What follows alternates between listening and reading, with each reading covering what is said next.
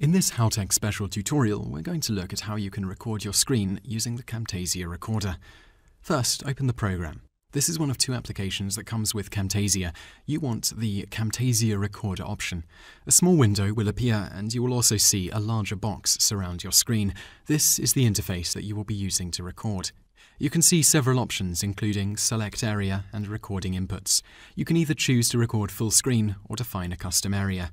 A custom area is defined either by entering specific dimensions or simply dragging the points that surround the recording area. Here we are choosing to record the entire screen. You are also able to record your webcam and audio, both from a microphone and the system's built-in audio.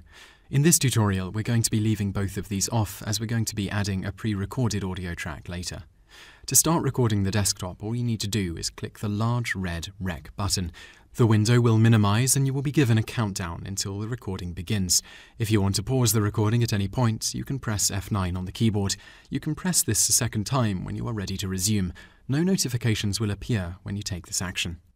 When you have recorded everything that you want, press F10 on the keyboard and the recording will end. You will then be taken to a preview window where you can view what you just recorded. If you are happy with the result, click Save and Edit and choose a location and name for the file in the File dialog box that appears. Click Save and the file will be saved to your computer. Camtasia Studio will automatically open with the file loaded into it, ready for you to edit. And that's it really. You now know how to record your screen using Camtasia Recorder.